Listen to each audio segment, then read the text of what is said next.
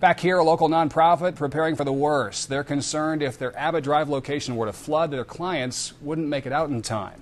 KETV News Watch 7's Natalie Glucklich is live with this story, the Newsplex. Todd Vodec currently serves 500 people with disabilities in the metro, and as the Missouri River creeps closer, the CEO decided better to be safe than sorry.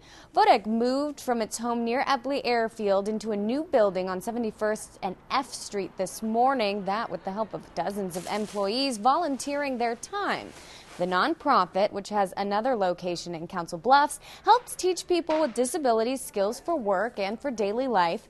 CEO, CEO Steve Hodap says he couldn't risk staying so close to the river. I was less concerned about the things than I was concerned about the people that we serve. There, a lot of them are very fragile. Uh, they won't. They don't move fast. We've got a lot of people in wheelchairs, and if something would have happened, I don't know that we would have been able to get them out of the building in time.